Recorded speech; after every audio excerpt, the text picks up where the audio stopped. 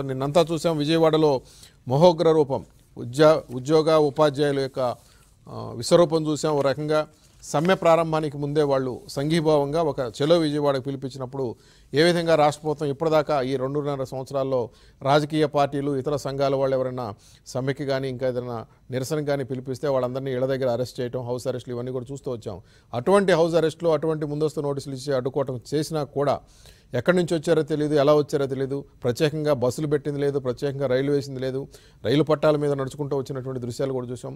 కొన్ని వేల మంది లక్ష రెండు లక్షల మూడు లక్షలు లక్షకు పైన దాదాపుగా లక్షన్నర రెండు లక్షలు మూడు లక్షలు ఫిగర్ ఎంత అనేది కాకపోయినా కూడా చూసాం మనం. నాలుగైదు కిలోమీటర్ల మేర ఏ విధంగా ఉద్యోగులు వచ్చారు ఎక్కడా కూడా ఏమైనా చిన్న అవాంఛనీయ ఘటన కూడా జరగకుండా శాంతియుతంగా తమ ఒక ర్యాలీని నిర్వహించి తమ యొక్క సత్తాన్ని చాటారు. సత్తాన్ని చాటం అంటే ఇది ఒక బల ప్రదర్శనగా ప్రభుత్వం అందిస్తూ ఉంది తప్ప ఒక నిరసన ప్రదర్శనగా ప్రభుత్వానికి కనువిప్పనేటువంటి ఒక అంశంగా ప్రభుత్వం చూడలేకపోతున్నట్టుగా కనపడింది నిన్న. ఇంత జరిగిన తర్వాత కూడా ఇంతమంది జనం ఎట్లా వచ్చారు అని చెప్పి ముఖ్యమంత్రి గారు అధికారుల మీద అసహనం వ్యక్తం చేశారంటున్నారు. కానీ ఇంతమంది ఎందుకు వచ్చారు అనేటువంటి ఒక ప్రశ్నను కనుక ముఖ్యమంత్రి గారు వేసుకుంటే దీనికి సమాధానం దొరుకుతుంది. ఆ ప్రశ్న వేసుకుంటారని చూద్దాం.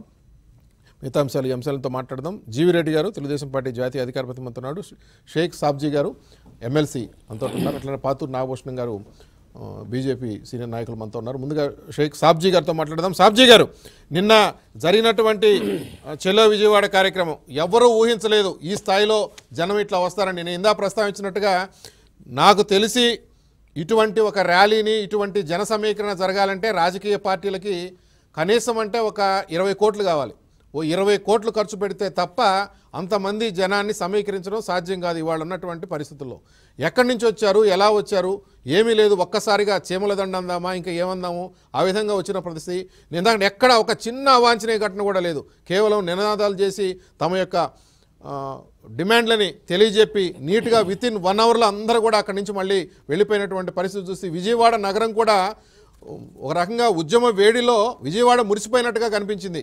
అటువంటి ఒక వాతావరణం. సాబ్జీ గారు కానీ ప్రభుత్వం నుంచి అయితే ఆ స్థాయిలో రియాక్షన్ రాలేదు. రాష్ట్ర చరిత్రలో ఇంతవరకు ఉపాధ్యాయ ఉద్యోగ ఉద్యమంలో ఇదే అతిపెద్ద ఉద్యమం ఇది మహాగర్జన. దరిదాపు మీరు అన్నట్టుగా రాజకీయ పార్టీలు కూడా ఇంత పెద్ద ఎత్తున సభ నిర్వహించినటువంటి పరిస్థితి అయితే నేను చూడలేదు. ఈ సభ స్వచ్ఛందంగా ఎవరికి వాళ్ళే ఉపాధ్యాయులు సొంత ఏర్పాట్లు చేసుకుని వచ్చారు. ఎవరికి సాధారణంగా రాజకీయ పార్టీలు నిర్వహించేటువంటి సభలు కానీ గర్జనలు కానీ చూస్తే వాళ్ళకి వెహికల్స్ ఏర్పాటు చేయటం అదేవిధంగా భోజన ఏర్పాట్లు చేయటం డబ్బులు ఇవ్వటం ఇలాంటివన్నీ చేస్తారు. ఇక్కడ ఉపాధ్యాయులు కానీ ఉద్యోగులు కానీ వాళ్ళకి వాళ్ళే సొంత ఏర్పాట్లు చేసుకుని మరి స్వచ్ఛందంగా తరలి వచ్చారు ఈ సభ ఇలా జరగకుండా ఉండడం కోసం పెద్ద ఎత్తున ప్రభుత్వం తీవ్ర నిర్బంధాన్ని ప్రయోగించింది. దాంట్లో ముందు రోజు ఉదయం నుంచి కూడా స్కూల్స్కి ఉపా ఉపాధ్యాయులు నాయకులు పనిచేస్తున్నటువంటి పాఠశాలలకి ఆఫీసులకి పోలీసులను పంపించటం అలాగే బయలుదేరిన తర్వాత ఎక్కడికక్కడ రైల్వే స్టేషన్లో బస్ స్టాండుల్లో అదేవిధంగా టోల్ గేట్ల దగ్గర. టోల్ గేట్ల దగ్గర అయితే బస్సులు ఆఫ్ చేసి కార్లు ఆఫ్ చేసి చెక్ చేసి వీళ్ళు ఉద్యోగులు కారు అని నిర్ధారించుకున్న తర్వాత మాత్రమే పంపించిన పరిస్థితి చూసాం. మరి నేను కూడా ఈ- ఈ ఉద్యోగులందరూ కూడా ఇంచుమించు ముందు రోజే విజయవాడ చేరుకున్నారు. విజయవాడలో కూడా లాడ్జీలు తనిఖీ చేయటం అలాగే కళ్యాణ మండపాలు తనిఖీ చేయడం ఇవన్నీ ఉన్నాయనే ఉద్దేశంతో బంధువులు స్నేహితులు ఇళ్ళ దగ్గర ఉన్నారు వీళ్ళంతాని. నేను కూడా ముందు రోజు రాత్రి బయలుదేరితే కలపర్ టోల్ టోల్ గేట్ దగ్గర ఇరవై మంది పోలీసులు నన్ను ఆఫ్ చేసి నిర్బంధించి తీసుకొచ్చి గృహ నిర్బంధం చేశారు ఇరవై నాలుగు గంటలు. ఇలా ఇన్ని నిర్బంధాలను సైతం ఎదుర్కొని లక్షలాది మంది అక్కడికి తరలి రావడం అంటే ఈ ప్రభుత్వం పట్ల ఉద్యోగులు ఉపాధ్యాయులు పెన్షనర్లో ఎంత ఆగ్రహం పెరిగిపోయిందో అర్థమవుతుంది. ఆ ఆగ్రహాన్ని అర్థం చేసుకుని దాన్ని సప్రెస్ చేయటం ఎలా అనేటువంటిది ఆలోచించడం మానేసి ఇంకా దీని వెనక ఏదో రాజకీయ శక్తులు ఉన్నాయి రాజకీయ పార్టీలు ఉన్నాయి సుపారీ ఇచ్చారు. వాళ్ళు తోలుకొచ్చారు వీళ్ళు తోలుకొచ్చారు అని చెప్పేసి మాట్లాడడం ఏదైతే ఉందో అది చాలా అంటే దుర్మార్గం నిన్న సజ్జలు అంటున్నారు బల ప్రదర్శన చేస్తే ఏమవుతుంది సమస్య పరిష్కారం అవుతుందా మీ ప్రసంగాలన్నీ సమస్యని పరిష్కరించే కాకుండా జటిలం చేసేలాగా ఉన్నాయి. అంటే ప్రభుత్వాన్ని గురించి మాట్లాడటాన్ని వాళ్ళు సహించలేకపోతున్నారు. అంటే మీరు నేను ఉన్నాను నేను విన్నాను అన్నారు కదా. మీరు లేకపోతే నేను ఐదు ఐదు రోజుల్లో అయిపోతుంది తీసేయండి దాన్ని చెప్పని అన్నారు. ఈ వ్యాఖ్యలు చేయటం వాళ్ళకి రుచించకపోవటమో తట్టుకోలేకపోవటమో బట్ ముఖ్యమంత్రి గారు ఇచ్చిన ఆ హామీల మేరకే కదా ఇవాళ అడుగుతున్నది. సామా ఉద్యోగులు సామాన్యులు మేము బల- బల ప్రదర్శన చేయాల్సిన అవసరం మాకేముందని మేమైనా ఎన్నికల్లో పోటీ చేసి ప్రభుత్వాన్ని ఏర్పరిచి ఎమ్మెల్యే సీట్లు గెలవాలనేటువంటి ఉద్దేశం ఏమైనా ఉంటుందో మాకు ఏంటి? ఉద్యోగులు సామాన్యులు మా బల ప్రదర్శన కోసం కాదు మాలో ఉన్నటువంటి ఆవేశాన్ని ఆక్రోశాన్ని ఆగ్రహాన్ని ప్రభుత్వం దృష్టికి తీసుకెళ్ళినట్లయితే ఎప్పటికైనా ప్రభుత్వం స్పందించి ముఖ్యమంత్రి గారు ఎన్నికలకు ముందు ఇచ్చినటువంటి హామీలు నెరవేరుస్తారు అనేటువంటి ఆశతోటి రావడం జరిగింది. ముఖ్యమంత్రి గారు నాలుగు కీలకమైనటువంటి హామీలు ఇచ్చారు. ఒకటి అందులో సిపిఎస్ మేము అధికారంలోకి వస్తే నెల లోపు రద్దు చేస్తామని పదే పదే చెప్పారు. రెండోది కాంట్రాక్ట్ అవుట్ సోర్సింగ్ ఉద్యోగులందరినీ కూడా సర్వీసులోకి లాగేస్తామని చెప్పేసి చెప్పారు. మూడోది ఐఆర్ ట్వంటీ సెవెన్ పర్సెంట్ ఇస్తామని చెప్పారు. అలాగే ఇంకా పిఆర్సీ మెరుగైన పిఆర్సీ ఇస్తాం సకాలంలో డిఎల్ ఇస్తామని చెప్పారు. దీంట్లో ఒక ఐఆర్ హామీని నెరవేర్చడం తప్ప ఇంక ఏది నెరవేర్చలేదు. ఐఆర్ను కూడా ఇవాళ తూచ్ అన్నారు. ఇవాళ ఐఆర్ మరి దరిదాపు ముప్పై నెలల పాటు మేము ఐఆర్ ఇచ్చామని చెప్పేసి సిఎస్ గారు చెప్తున్నారు. ఆ అది ముప్పై నెలలు ఎందుకు ఇవ్వాల్సి వచ్చిందని మేము కూడా అడుగుతా ఉన్నాం. ఐదు సంవత్సరాల కాల పరిమితికి వేసినటువంటి PRC Ashutosh Mishra committee report ఈ మీరు మూడున్నరేళ్ళు బయట పెట్టకుండా మీరు జాప్యం చేసి మీరు ఇవాళ మేము ముప్పై నెలలు ఐఆర్ ఇచ్చామని చెప్పుకోవాల్సిన అవసరం ఏంటి? యాక్చువల్గా ఇది ఒకటి ఏడు రెండు వేల పద్దెనిమిది నుంచి అమలు కావాల్సినటువంటి పిఆర్సి. ఐదేళ్ళ కాలానికి అమలు కావాల్సిన పిఆర్సి. అరవై నెలలు. ఇప్పుడు నలభై రెండు నెలలు గడిచిపోయిన తర్వాత మీరు పద్దెనిమిది నెలల కోసమే ప్రకటించి దీంట్లో ఇరవై ఒక్క నెలలు మానిటరీ బెనిఫిట్ లేకుండా ఒక రూపాయి చెల్లించకుండా ఇరవై ఒక్క నెలలు ఎరియర్ ఇచ్చేదానికోసం ఆ ఎరియర్ కూడా ఏ రూపంలో ఇస్తారు భవిష్యత్తులో ఎప్పుడో ఇస్తామని చెప్పి చెప్పడం ఇలాంటి ఇలాంటిది ఎప్పుడు చూడలేదు. ఇవాళ రాష్ట్ర చరిత్రలో పది పిఆర్సీలు తీసుకున్నారు ఉద్యోగులు. పది పిఆర్సీల్లోనూ ఐఆర్ కంటే కూడా ఎక్కువ ఫిట్మెంట్ ఇచ్చారు తప్ప ఐఆర్ కంటే కూడా తగ్గించి ఫిట్మెంట్ ఇచ్చినటువంటి చరిత్ర ఘనత కూడా ఈ ప్రభుత్వానికి ముఖ్యమంత్రికి దక్కుద్ది. ఆ విషయం మాట్లాడడం మానేసేసి ఉద్యోగులను నిందించే విధంగా మాట్లాడడం ఏంటండి? రెండో అంశం అసలు పిఆర్సీ కోసం వేసినటువంటి కమిటీ రిపోర్ట్ బయట పెట్టకుండా దాదాపు రెండున్నర సంవత్సరాల కాలం పాటు ఆయన ఎంతో అధ్యయనం చేసి ఎంతో మంది ఉద్యోగుల్ని నూట ముప్పై సంఘాలను కలిసి వాళ్ళ అభిప్రాయాలు సేకరించి మూడు సంవత్సరాలుగా పెరిగినటువంటి ధరవరలు అలాగే అప్రాయిడ్ ఇచ్చినటువంటి లెక్క లెక్కల ప్రకారం అలాగే కన్జ్యూమర్ ప్రైస్ ఇండెక్స్ లెక్కల ప్రకారం అన్ని శాస్త్రీయంగా అధ్యయనం చేసి మరి రిపోర్ట్ ఇస్తే ఆ రిపోర్ట్ని దాచిపెట్టి సొంతంగా ఐఏఎస్ తోటి రిపోర్ట్ తయారు చేసి తనకు అనుకూలంగా ఈ రోజు పరిపాలన చేయటం ఏంటండి? ఇది ఈ విషయంలోనే తీవ్రంగా ఆగ్రహం చెందుతూ ఉన్నారు. పైగా ఉపాధ్యాయ ఉద్యోగ సంఘాల నాయకుల్ని అవమానపరచడం కూడా ఇదే మొదటిసారి జరిగింది. పన్నెండు సార్లు పిలిచి వీళ్ళు చెప్పిన ఒక్క మాట కూడా నేను ఒకటే అడుగుతున్నాను మీ ద్వారా ప్రభుత్వాన్ని. పన్నెండు సార్లు మా వాళ్ళు మీ దగ్గరికి వచ్చి మాట్లాడిన మాటల్లో ఏ ఒక్కటి మీరు అమలు చేస్తారో చెప్పాలని చెప్పేసి మేము కోరుతాము. ఐఏఎస్ కమిటీ రిపోర్ట్ మాకు అవసరం లేదు. మీరు అశుతోష్ మిశ్రా కమిటీ రిపోర్ట్ బయట పెట్టండి.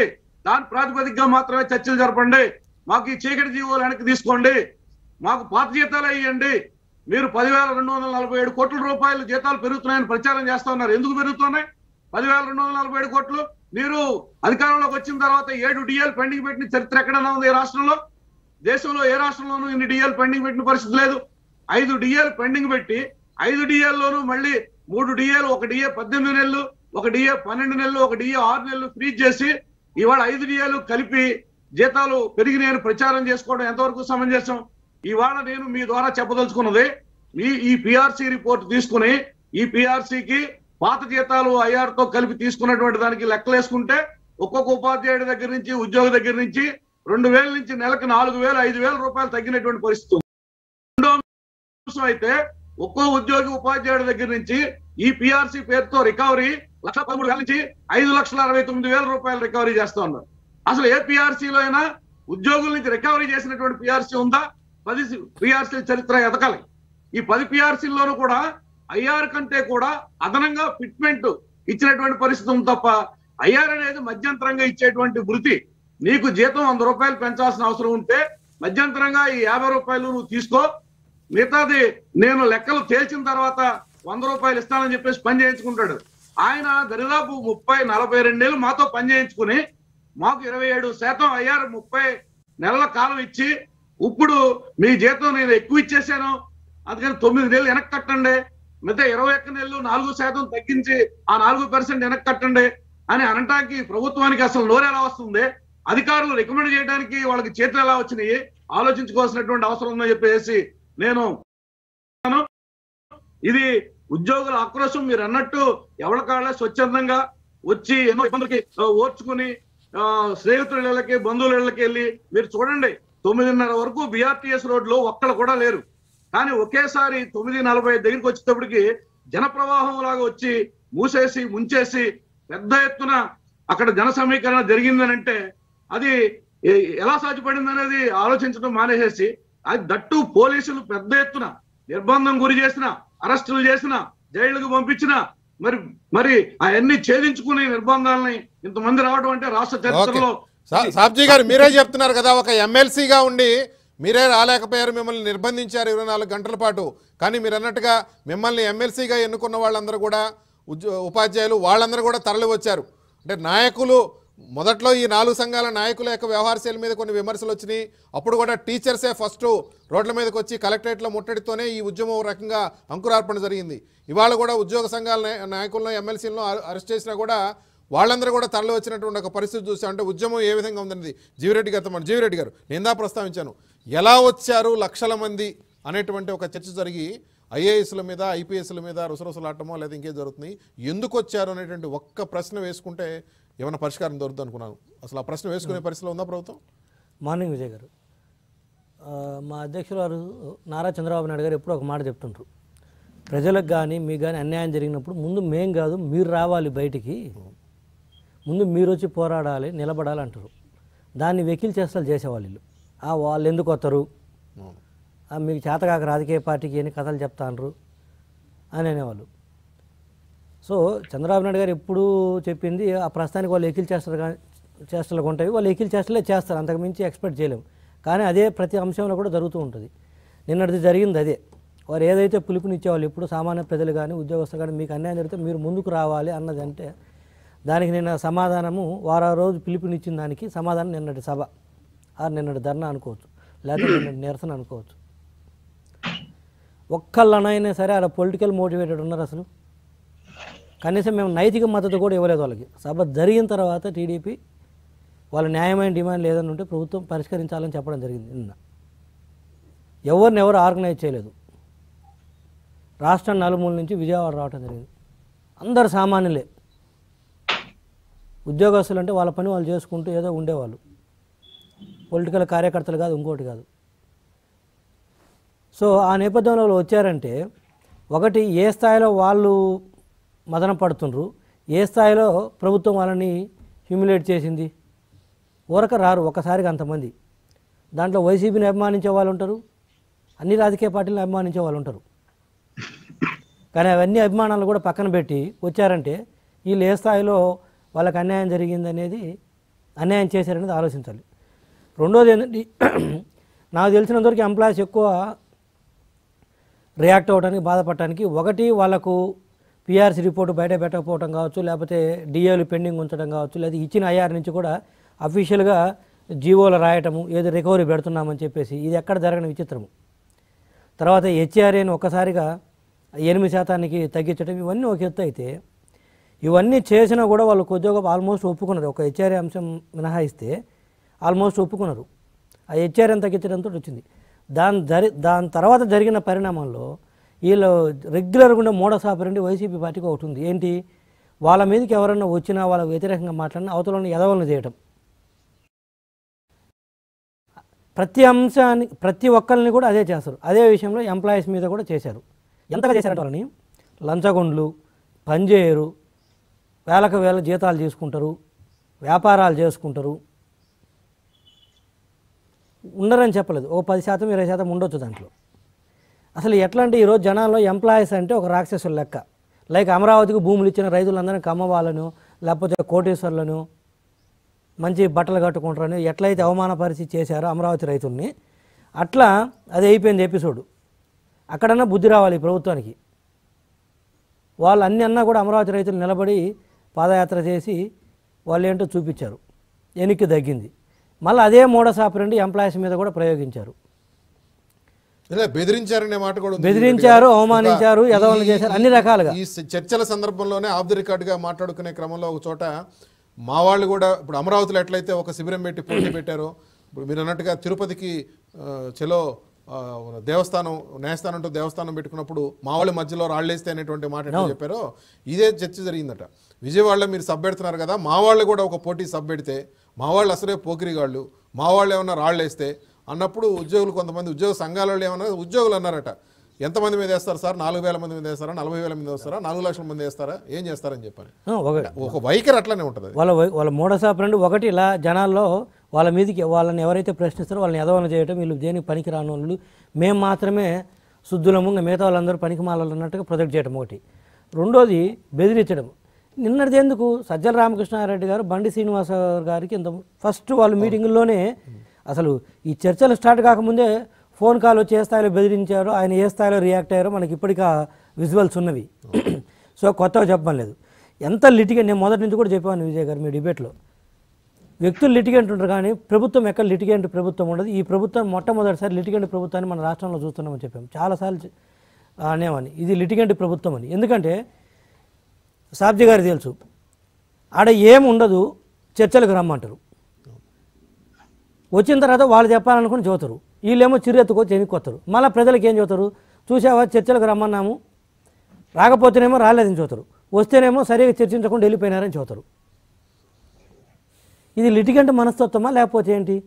పిఆర్సీ రిపోర్ట్ బయట పెట్టకుండా వాళ్ళని చర్చలకు పిలిచేది ఏంది నువ్వు? ఓ పక్క జీవోలు ఇచ్చిన తర్వాత నువ్వు చర్చలకు పిలిచేది ఏంటి వాళ్ళని? నేను ఎయిట్ పర్సెంట్ హెచ్ఆర్ ఇచ్చేది. అరియర్స్ రికవర్ ఇంతకుముందు ఇచ్చిన ట్వంటీ సెవెన్ పర్సెంట్ ఐఆర్లో నేను ఇప్పుడు ట్వంటీ త్రీ పర్సెంటే కాబట్టి ఇచ్చింది ఫిట్మెంట్ మిగతా నాలుగు శాతం రికవర్ చేస్తా. జీవో ఇచ్చినవు. ఎయిట్ పర్సెంట్ హెచ్ఆర్ఏ జీవో ఇచ్చేసినావు. మార్చము జీవోల్ని అంటాడు ఒక పక్క సజ్జల గారు వచ్చి. మళ్ళీ చర్చలకు రండి అంటాడు. జీవోల్ని మార్చడం చర్చలకు రమ్మంటారు ఏంటి? వాళ్ళు అడిగేదే కదా అదే కదా. జీవోలు ఉన్న వాటిని ఇవి కొన్ని సరిగా లేవు వీటిని అమెండ్మెంట్ చేయమని కదా. జీవోలు మార్చాలంటే చర్చలకు రావాలంట. వీళ్ళని ఏమనాలి అసలు? ఇంత లిటిగెంట్ మనస్తత్వమా? దాంతో ఒళ్ళు మండింది. ఇది ఒళ్ళు మండితే కోపంతో ఒక అవమాన భారంతో వస్తే తప్పితే ఇంత ఇంత మంది రాగలరు కానీ కేవలము ఆర్థిక లబ్ధి కోసం మేమేదో పోయి నిరసన చేస్తే మేమేదో ప్రభుత్వాన్ని బ్లాక్మెయిల్ చేస్తే మాకు డబ్బులు వస్తాయి అనుకుంటే రారు. కేవలం డబ్బుల కోసం అయితే ఈ స్థాయి ఉక్రోషం ఈ స్థాయి ఐక్యత వాళ్ళ రాదు ఎంప్లాయీ ఎక్కువగా చాలా మంది గతంలో కూడా మమ్మల్ని అవమానపరిచారనే వాడు ఏ విధంగా జీతాలు తగ్గించి జీతాలు పెంచు గత రెండు రోజులుగా వరుసగా గవర్నమెంట్ సిఎస్ గారు ఫైనాన్స్ సెక్రటరీ గారు అందరూ కూర్చొని టేబుల్స్ వేసి చూపిస్తున్నారు. జీవీ రెడ్డి ఇంత వచ్చింది ఇంత వచ్చిందని. సరే ఎలా పెరిగినట్టు చూపించారో సాబ్జీ గారు చెప్తా ఉన్నారు వాళ్ళంతా అయ్యంతా దొంగ లెక్కలే. ఇచ్చేసి పెరిగిందంటే ఎవరికైనా పెరుగుతుంది ఏదైనా చూపించవచ్చు సో అంటే నేను ఏమంటున్నానంటే ఎంప్లాయీస్ కేవలం ఆర్థిక రకమైన అవసరాల కోసము ఫైనాన్షియల్ బెనిఫిట్స్ కోసం అంటే రెండు వేల పద్దెనిమిది జూలై ఒకటి నుంచి పిఆర్స్ ఇంప్లిమెంట్ అవ్వాలి. రెండు వేల పద్దెనిమిది మేలో పిఆర్స్ వేశారు. రెండు వేల ఇరవై అక్టోబర్లో రిపోర్ట్ ఇవ్వడం జరిగింది. వీళ్ళు రెండు వేల ఇరవై ఒకటిలో మళ్ళీ వీళ్ళు సెక్రటరీస్ కమిటీ ఫామ్ చేశారు. అయినా ఇన్ని సంవత్సరాలు ఆగారు రేపు రెండు వేల ఇరవై మూడు జూలై ఒకటికి ఐదు పన్నెండో పిఆర్సీ డ్యూ డేట్ వచ్చేస్తుంది. అయినా ఇన్ని రోజులు ఆగారంటే వాళ్ళు ఆర్థికపరమైన అంశం ఒక్కటి కాదు కాబట్టి ఆగారు. సరే చేస్తారులే ఏముంది అని బట్ ఈరోజు ఎందుకు బయటకు వచ్చారంటే దానికి మించి అవమానించారు. దానికి మించి వాళ్ళని తక్కువ అంచనేశారు ఆ నేపథ్యంలో ఈరోజు రోడ్లపైకి వచ్చారు. ఇది ఆత్మాభిమానం దెబ్బతిని రోడ్లకు రోడ్లపైకి వచ్చారు తప్పితే వాళ్ళు ఏదో డబ్బులు కావాలనేది కాదు కాదనేది ఈ ప్రభుత్వం అర్థం చేసుకోలేదు. అది కాకుండా మళ్ళీ అదే పంద. ఓ పక్క టీడీపీ ఎంకరేజ్ చేసి పంపించిందంట. పనికి మాల మాటలు మాట్లాడటానికి మొదటి రకం. ప్రతిదానికి టీడీపీ చంద్రబాబు నాయుడు గారే కారణం. చీమ చిట్టుకుమన్నా కూడా రాష్ట్రంలో చంద్రబాబు నాయుడు గారే కారణమా? ఒక పక్క వాళ్ళు ఏమంటారు రెండవ వర్షన్ ఏం చదువుతారు అబ్బాయి అదేం లేదు మేమే అలౌ చేసినాము అని మళ్ళీ ఇంకొక వర్షన్ ఇంకొకళ్ళు వచ్చి చదువుతారు ఇంకో పక్క ఏమో చంద్రబాబు నాయుడు గారు అలౌ చేసినామంటారు. అంటే ఎంత నేరో మైండ్ ఎంత లిటిగెంట్ మనస్తత్వాలంటే ఇలవి ఇది ఒకటి ఒకవేళ మీరు అన్నట్టుగా మేమే అలో చేస్తామంటే కూడా నిన్నటి దాన్ని గుర్తించాలి కదా ప్రభుత్వం మేము గుర్తించామనే ఒక వర్డ్ కూడా లేదు. నిన్న బల ప్రదర్శనగానే చెప్తా ఉన్నారు. బల ప్రదర్శన. మీరు బల ప్రదర్శన వీళ్ళు ప్రతిపక్షంలో ఉన్నప్పుడు చేసిన బల ప్రదర్శనలా ఈరోజు అంటే ప్రతి అంశంలో కూడా అవతలోడి మీదకి నెట్టేయటము మొట్ ఫస్ట్ ఉంటారు మీరు పనిచేసే పనిచేసే రిజల్ట్ చూపించండి అంటే అవతలోడి మీదకి నెట్టేస్తారు ఒక్క మాట విజయ్ గారు కొంచెం డిబేట్కు డిబేట్ అవుతున్నాను. అంటే మనస్తత్వానికి మాత్రం నేను అంశం మీద మాట్లాడతాను. మీతోటి పాతున్నా భూషణం గారు నేను విజయవాడలో జరిగినటువంటి చలో విజయవాడ కార్యక్రమం చూసాం సరే రకరకాల వ్యాఖ్యలు చేశారు అక్కడ. సజ్జల రామకృష్ణారెడ్డి గారి మీద వ్యాఖ్యలు చేశారు సిఎస్ గారి మీద అన్నీ కూడా ఒక విమర్శలుగా చేసుకుంటూ వచ్చారు. బట్ ఏదున్నా కూడా నిర్ణయం తీసుకోవాల్సింది ముఖ్యమంత్రి గారు. బట్ నిన్నటి కార్యక్రమంలో ఇంతమంది ఎలా వచ్చారు అనేటువంటి ఒక చర్చ జరుగుతుంది తప్ప ఎందుకు వచ్చారు ఏం చేద్దాం అనేటువంటి చర్చ. ఎందుకంటే నిన్న అందరూ కూడా ఎక్స్పెక్ట్ చేశారు. ఈ సభ తర్వాత సిఎస్ గారు మాట్లాడతారు సజ్జల గారు మాట్లాడతారంటే ఏమైనా కొంచెం మాట్లాడతాను. కాదు రాజకీయపరమైన ప్రసంగాలు చేస్తారా మీరు? ఒకవేళ మేము కనుక అనుకుంటే రాగలిగే వాళ్ళ ఇటువంటి మళ్ళీ బెదిరింపు వ్యాఖ్యలు ఇవే వచ్చినాయి మళ్ళీ నిన్ను కూడా. నాగభూషణ గారు. విజయ్ గారు అక్కడున్న సబ్జీ గారికి మన జీవి రెడ్డి గారికి అందరికీ నమస్కారం. ఇందులో నిన్న మాకు ఒక ప్రత్యక్షమైనటువంటి ఎక్స్పీరియన్స్ చెప్తాను నిన్న. నిన్న మాకు సాయిబాబా టెంపుల్ పదహారు వార్షికోత్సవం జరుగుతుంటే మామూలుగా అయితే భక్తులు ఉదయం ఐదింటి దగ్గర నుంచి స్టార్ట్ అవుతారు. కానీ నిన్న ఈ పోలీసులు ఆ మంగళగిరి మండలం పెదవాడలప్పుడు వెళ్ళి తెనాలి గుంటూరు విజయవాడ విజయవాడ నుంచి ఎయిర్పోర్ట్ దిగితే వాళ్ళని రానికుండా ఆపేశారు. ఎందుకు సిటీలోకి వస్తున్నారు. అరే బాబు మేము పలానా చోటకి వెళ్తున్నామని వదల్లా? పెళ్ళమూరు నుంచి వచ్చేవాళ్ళు మాకు సప్లయర్స్ ఉంటే వాళ్ళని వదల్లా? అంటే ఈ పాయింట్ ఎందుకు చెప్తున్నానంటే అంత అవసరమే ఉంది వాళ్ళ ఎంప్లాయీస్ ఏమన్నా మనకేం పాకిస్తాన్ నుంచి రాలేదు కదా. ఇవాళ అంత కట్టుదిట్టమైన బార్కెట్లు పెట్టి జనం పబ్లిక్ ఎంత సఫర్ అయ్యారు నిన్న. చాలా మంది ఫంక్షన్కి వెళ్ళాల్సినట్టు కూడా టైంకి వెళ్ళలేకపోయారు. ఈ ఇది చాలా ఇబ్బందికరమైన విషయం. తర్వాత పన్నెండింటి తర్వాత వదిలేశారు. ఎందుకంటే అక్కడికి ఆల్రెడీ జనం వెళ్ళిపోయారు కాబట్టి మాకు పన్నెండింటి దగ్గర నుంచి విపరీతమైన ఫ్లో వచ్చేసి మళ్ళీ మేము అక్కడ అరేంజ్మెంట్ డబుల్ అరేంజ్మెంట్ చేసుకోవచ్చు. అంటే ఇవాళ సామాన్య ప్రజలకు ఎలా ఉందంటే ఫస్ట్ తెలియదు ఏంటంటే ఐఆర్ పిఆర్సి హెచ్ఆర్ అంటే వీళ్ళకి చాలా మంది పాపం ఆ గ్రామ ప్రజల్లో తెలియట్లేదు ఇందాక మా జీవి రెడ్డి గారు అన్నట్టుగా వీళ్ళు ఏదైనా ప్రచారం చేయాలనుకుంటే కాల్చి గొడ్డేయటం అనేది వీళ్ళకి పెద్ద అవార్డు ఇవ్వడంలో మాత్రం వీళ్ళకి ఇవ్వాలి వైసీపీ నాయకులకు మాత్రం. వాళ్ళు గ్లోబల్ ప్రచారం మొదలు పెడతారు. ఇప్పుడు ఇవాళ ఆ, గ్రామాల్లో ఏమైనా ప్రచారం చేస్తున్నారంటే అరే అసలు ఏది? వీళ్ళ మనుషులే ఉంటారు. ఎంప్లాయీస్ని ఇప్పుడు ఇందాక రాజధాని విషయం అవ్వచ్చు లేదా హైకోర్టులు కనుక అన్పాపులర్ చేయాలంటే సోషల్ మీడియాలో స్టార్ట్ చేస్తారు ఒక ఇద్దరి మీద. దాన్ని ఒకళ్ళు ఇంకోళ్ళు క్యారీ చేస్తారు.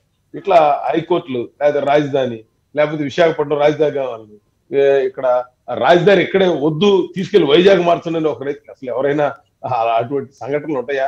ఇప్పుడు ఇప్పుడు ఇప్పుడు ఇంక నయం. ఇందులో నేను కొత్త స్పిస్టోడ్ చూడాల. మాకు జీతాలు వద్దండి తగ్గించండి అని అడిగిన ఉద్యమం పెట్టాల. అది- అది కూడా పెడతారో చూస్తే ఇంక ఐడియా ఎవరు ఇచ్చిండ్రు? నాకు జీతాలు ఎక్కువ వద్దండి తగ్గించండి రేట్లు మీరు వచ్చిన తర్వాత తగ్గిపోయినాయి ఉప్పులు పప్పులు కూడా పరిస్థితి తీసుకొస్తారు అది ఒక ఆలోచన. ఇప్పుడు ఏం చెప్తున్నారంటే ప్రజల్లోకి ఆ ఒక టీముని తయారు చేసి అసలు వీడురా మగాడు అసలు ఎంప్లాయీస్ తాట తీశాడురా అని ఒక గ్లోబల్ ప్రచారం వీళ్ళ మీద అవినీతి ఉంది. లేదా అక్కడ టీచర్లు ఉంటాయి నేనైతే నాకు టీచర్ ఫోన్ చేసి ఎంత టీచర్లు కూడా మా గుడికి వచ్చిన వాళ్ళు అన్నాడు. సార్ మా మా విలేజ్లో వాలంటీర్లను పెట్టి మా అబ్బాయిలు అమెరికాలో ఉంటే వీళ్ళు చూసారా? డబ్బులు సంపాదించుకొని వాళ్ళు మాట్లాడుతున్నారు అని ఇంకా దారుణం ఏంటంటే అసలు స్లిప్లు చూపించంట వీళ్ళు ఇంతకు ముందు శాలరీ ఎంత ఉంది? ఇప్పుడు ఎంత పెరిగింది? అంటే కాకపోతే ఏంటంటే ఇంతకు ముందు శాలరీ కంటే ఇప్పుడు కొత్తగా వచ్చిన శాలరీలో ఎట్టాగో పెరుగుతుంది. కాదు అందులో డిఏ ఏంటి? హెచ్ఆర్ ఏంటి? ఇప్పుడు ఎప్పుడో ఆ ఐదు సంవత్సరాల్లో రెండు వేల పద్దెనిమిదిలో శాలరీ వాళ్ళు కనపడుతుంది అనేది తెలియట్లా. అందుకే ఎంప్లాయీస్ కూడా కొంచెం సామాన్య భాషలో ప్రజలకు తెలియజేయాల్సిన అవసరం ఉంది. లేకపోతే మన సిస్టమ్ డ్యామేజ్ అవుతుంది. ఇప్పుడు ఎలా ఉంటుందంటే ఊళ్ళో కుప్పలు ఉన్నాయి అనుకోండి. అందరూ ఎందుకంటే ఆ సాబ్జీ గారు గారు జీవి గారు అందరూ గ్రామీణ వాతావరణం నుంచి వచ్చారు కాబట్టి తెలుసు. దరిదాపు ఎంప్లాయీస్ కూడా గ్రామీణ వాతావరణం నుంచి వచ్చారు. ఏదైనా కుప్పలు మాట్లాడుకునేటప్పుడు కాంట్రాక్ట్ ఏదైనా వర్షం వస్తుంది? బాబు ఎంత కాంట్రాక్ట్ అంటే రెండు ఎకరాలు మాకు పది మంది పడతారు సార్ నాకు ఒక ఐదు వేలు ఇటు సార్ మేము వేసేస్తాం సరే వాళ్ళు ఏం చేస్తారు? ఐదు వేలు కాంట్రాక్ట్ మాట్లాడుకున్న తర్వాత వాళ్ళు పది మంది కాకుండా ఆరుగురు ఏడుగురు వెళ్తారు. ఎందుకంటే అరే కొంచెం ఎక్కువ కష్టపడదాం స్పీడ్గా చేద్దాం. మనకి డబ్బులు వస్తే అనే ఉద్దేశంతో ఆ ఏడుగురు వెళ్ళి పని చేస్తారు. ఏడుగురు వెళ్ళి- అక్కడ రైతు దగ్గరికి వెళ్ళి నాకు ఏడైదుల మామూలుగా ఐదు వేలు కాంట్రాక్ట్ మాట్లాడుకోవాలి కదా. ఇప్పుడు అక్కడ అక్కడికి వెళ్ళిన తర్వాత రైతు ఏమంటాడు? మీరు ఏడుగురు చేశారు కాబట్టి ఏడైదులు మూడు వేల ఐదు వందలు ఇస్తాను నేను. మీరు ఎందుకు రాలేదండి అరే బాబు నువ్వు కాంట్రాక్ట్ కదా అనే విషయాన్ని ఆ ఎగ్జాంపుల్ అనేది అర్థం కావాలి. సామాన్య సామాన్య గ్రామీణ ప్రజల ప్రజల అంతా పిచ్చోళ్ళేం కాదులే నాగభూషణం గారు. ఏ, కాదు, కాదు. నడిచినంత కాలం నడవచ్చు కానీ జ- ప్రజలు. ప్రజలు మీకు అర్థం కాలేదు సార్. మీకు ఒకటి చెప్పారు ఒక అబద్ధాన్ని పది సార్లు చెప్తే అది నిజం అవుద్ది ఒక నిజాన్ని పది సార్లు చెప్తే అది అబద్ధం అయిపోతుంది అంటే నేను ఎందుకు చెప్తున్నానంటే ఈ పాయింట్ ఇది వీళ్ళు ఎక్స్పీరియన్స్లో సక్సెస్ అయ్యారు. మీరు కాలడి చూడండి నా దగ్గర పది ఉదాహరణలు ఉన్నాయి. వీళ్ళు ఎంప్లాయీస్ కాబట్టి నేను ఆ సబ్జెక్ట్ చెప్పట్లేదు కానీ పది ఉదాహరణలు ఉన్నాయి వీళ్ళు. వైసీపీలో ఒక ప్రశాంత్ కిషోర్ అనే వ్యక్తి గ్లోబల్ ప్రచారాలు చేయటంలో అబద్ధాలు మాడటంలో ఇవాళ మీకు చెప్తాను sir TV five ABN ban చేశారు. మీ మీద ఎన్ని రకాల దుష్ప్రచారాలు నిన్న కరెంట్ కట్ చేశారు. సరే ఇవన్నీ మనం మాట్లాడుకోవడానికి చాలా ఉన్నాయి. ఇంకా అసలు వీటన్నిటికంటే మనం మెయిన్ మాట్లాడుతున్నాం సజ్జల గారు. మేము అనుకుంటే మీరు చేయగలిగే వాళ్ళ. ఏంటి ఏంటి ఏమనుకుంటారు? నాకు అర్థం కాల? ఇదేమన్నా మనం హిట్లర్ పరిపాలన లేకపోతే మన ఏదైనా కమ్యూనిస్ట్ దేశంలో కాదండి. అసలు ఏదైనా మనం అలా మాట్లాడకూడదు కదా. ఒక రాజకీయ పార్టీలో డెమోక్రసీలో ప్రపంచంలో మన ఇంత పెద్ద ప్రజాస్వామ్యంలో అసలు మేము అనుకుంటే మీరు చేయగలరా? సరే మనసులో ఉండొచ్చు కానీ పబ్లిక్గా అలా మాట్లాడితే చాలా తప్పు. ఎంప్లాయీస్ అవమానించడం అనేది ఇది కరెక్ట్ కాదు. అట్లాగే ఇంకొక సినిమా ఉండేది ఇద్దరికి కోటా శ్రీనివాసరావు పరచూరు గోపాలకృష్ణ డబుల్ డైలాగ్. ఒక చోట తుఫాను వస్తుంది. తుఫాన్ వస్తే రాజకీయ నాయకుడు వెళ్తాడు. వెళ్తే అరే పేపర్ అడుగుతాడు ఏం స్టేట్మెంట్ రాసుకోమంటారు? వాడు వెళ్ళాడే వెళ్ళలేదు ఇక తెలుసు సార్ అన్నాడు. అయితే మళ్ళీ నేను దొరకదు కాబట్టి వాడు వెళ్ళాడు అనుకో అక్కడ తుఫాన్ వచ్చి ఆడుదొస్తుంటే వీడు వెళ్ళి అధికారి తప్పు చూపించుకోవడానికి వెళ్ళాడని రాసుకో. ఒకడు వెళ్ళలేదనుకో అరే వాడు ఇంటూ కూర్చున్నాడు రా అక్కడ తుఫాన్ జరుగుతుంటే రాసుకో అని చెప్పి వాడు ప్రెస్ వాళ్ళకి ఒక స్టేట్మెంట్ చెప్తాడు పరచూరు గోపాల్ కొండ శ్రీనివాసరావు. అంటే వాళ్ళకి ముందే ప్రిపేర్ అయి ఉంటది. వీళ్ళు ఈ ఆప్షన్ తీసుకుంటే మనం ఏం చెప్పాలి? ఈ ఆప్షన్ తీసుకుంటే మనం ఏం చెప్పాలి? అనేది వీళ్ళకి ఆ ఏదో స్క్రిప్ట్ రాసేవాళ్ళు ఒకళ్ళు ఉంటారనమాట ఆ స్క్రిప్ట్ రాసేవాడు ప్రజల్లో ఉన్న ప్రాబ్లం ఏంటి? అసలు ఏం జరుగుతుంది? దీని రియాక్షన్ ఏంటో తెలియదు వీళ్ళు ఇంట్లో ఇక్కడ ఇప్పుడు మన సినిమాలో తెలుసు కదా అంటే నా- నాగభూషణం గారు బహుశా బహుశా మీరు చెప్పిన తీరి వైసీపీ అనుసరిస్తున్న తీరి మొదటి సంవత్సరం రెండు సంవత్సరాలు సంవత్సరాల వరకు పనిచేసి ఉండొచ్చేమో ఎందుకంటే కొన్ని వర్గాలే బాధింపబడ్డాయి. బట్ ఇవాళ బాధింపబడని వర్గం అంటూ ఏం లేదు. ఇప్పుడు ఏమంటుందంటే తన దాకా వస్తే కానీ తెలియదు. ఇప్పుడు రైతాంగానికి ఒకవేళ మీరు అన్నట్టుగా రైతులకి చూసారా సాబ్జీ గారికి లక్ష రూపాయల ఉద్యోగ లక్ష రూపాయల వేతనం ఉంది మీకేమో మిరప పంట వేస్తే లక్ష రూపాయల నష్టం వచ్చింది కదా ఇవన్నీ కూడా చెప్తే మొన్నటి నమ్మొచ్చు. అన్ని వర్గాలు కూడా. ఇప్పుడు మీరు చెప్తున్న వాలంటీర్ల వర్గం అసంతృప్తిగా ఉంది సచివాలయ ఉద్యోగులు అసంతృప్తిగా ఉన్నారు రైతులకి నష్టం జరుగుతుంది అందరికీ ఉంది కాబట్టి అందరూ అన్ని రకాలుగా విజయ్ గారు ఒక్క పాయింట్ చెప్తానండి. మొదట సచివాలయం ఎంప్లాయీస్ స్ట్రైక్ చేశారు సార్. చేస్తే ఏం చేశారు? బెదిరించారు. ఎండిఓలు ఎంఆర్ఓలు మీకు పర్మనెంట్ అయ్యేటప్పుడు మీ కెరీర్ మీద రాసేస్తాం వాళ్ళు ఆగిపోయారు. వాలంటీర్లు ఏం చెప్తున్నారు ఇవాళ? మొదట ఉద్యోగం ఇస్తామని చెప్పారు. తర్వాత మీరు త్యాగదనులు మీరు. సర్వీస్ ఓరియంటెడ్ అని చెప్పారు. అది పక్కన పెట్టండి. పోలీసులకి ఏం చెప్పారు? మీకు సపరేట్ పిఆర్సీ ఉంటుంది అన్నారు అన్న తర్వాత ఏమైంది? వాళ్ళు సైలెంట్ అయిపోయారు. ఇప్పుడే ఉన్నారు. మీరు కూడా వీళ్ళతో పాటు కలిసి ఉండాల్సిందే అన్నారు. ఇప్పుడు వాళ్ళకి ప్రాబ్లం ఇది. నిన్న కూడా ఇప్పుడు వాళ్ళు ఏదో చెప్తున్నారు కదా ఎవరైతే సీఎం ఆఫీస్ నుంచి వారానికి ఇచ్చారంట ఐపీఎస్ ఆఫీస్ నుంచి. అసలు నీ అసమర్థత వల్లే ఇదంతా జరిగింది వెళ్ళటానికి. ముందు వాళ్ళందరినీ మీరు లిస్టు తయారు చేయండి అంటే అంటే ఇప్పుడు మొత్తం కానిస్టేబుల్ సస్పెండ్ చేద్దామని అడిగారంట ఆయన. వాళ్ళ పేపర్లో వచ్చింది వాళ్ళ వేల మంది కానిస్టేబుల్ సస్పెండ్ చేయాలి? Okay okay sir. ఉద్యోగుల మీద దుష్ప్రభావం అంటే వైసీపీ ప్రభుత్వం ఎంచుకున్నటువంటి విధానం అది. ఎవ- ఇందాక అన్నట్టుగా అమరావతి అనగానే ఇది కమ్మోళ్ళది కాబట్టి మిగతా వాళ్ళందరూ చేయండి. లేదు దేవస్థానం టు న్యా- న్యాయస్థానం టు దేవస్థానం అంటే దారిలో రాళ్ళు వేస్తే మాకు సంబంధం లేదు. లేదంటే విజయవాడలో మీరు సబ్ పెడుతున్నారు. మా వాళ్ళు పోటీ సబ్ పెడితే మా వాళ్ళు పోకిరిగాళ్ళు రాళ్ళు వేస్తే మీ పరిస్థితి ఏంటని బెదిరించడము. ప్రతి దాంట్లో కూడా ఇదే పరిస్థితి. సాబ్జీ గారు హలో? సాబ్జీ గారు విన్నారా? మాట్లాడండి. అదేనండి ఇప్పుడు ప్రతి ఇష్యూ కూడా ఈ ప్రభుత్వం రెండున్నర సంవత్సరాల కాలం పాటు తీసుకునే ఇష్యూస్ అన్ని కూడా వివాదాస్పదంగా మారిపోతున్నాయి. అది మీకు జాతక గమనించండి ఉద్యోగుల విషయంలో రెండున్నర సంవత్సరాలు ఉద్యోగ సంఘాలు నాయకులు ఉపాధ్యాయులు ఉద్యోగులు చాలా ఊపిరి ఈ రెండున్నర సంవత్సరాల కాలంలో రెండేళ్ళ కాలం పాటు కోవిడ్ కారణంగా ప్రధానికం ఇబ్బంది పడతా ఉన్నారు మనం కూడా అర్థం చేసుకోవాలని చెప్పేసి సహకరించారు. ఇంత సంపూర్ణంగా ప్రభుత్వానికి ఉద్యోగులు ఉద్యోగ సంఘాల నాయకులు సహకరించడం ఇదే మొదటిసారి. దీన్ని అలుసుగా తేలిగ్గా తీసుకున్నారు. ఇక వీళ్ళ వీళ్ళ పని అయిపోయింది వీళ్ళు ఏమీ చేయలేరు. వీళ్ళు మనం ఏం చేసినా ఏం చెప్పినా పడి ఉంటారు అనేటువంటి ఒక బూజ్వా భూస్వామ్య దృక్పథంతో పాలేరుని ఒక భూస్వామి ఎలాగా వ్యవహారం చేస్తాడో ఆ రకంగా ఈ సంఘాలని సంఘాల నాయకుల్ని చూశారు. మీరు చూడండి పన్నెండు సార్లు పిలిచి ఏ ఒక్క సమస్య.